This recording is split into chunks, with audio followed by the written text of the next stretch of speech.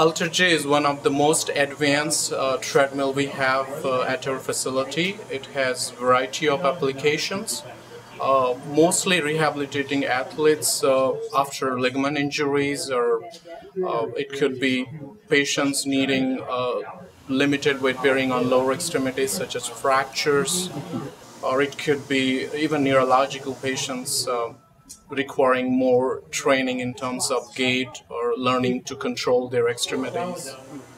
This machine works by controlling the effect of gravity. Uh, that means when you walk on this treadmill, you could control the weight bearing on your uh, legs by decreasing the gravity as low as 20% of your body weight.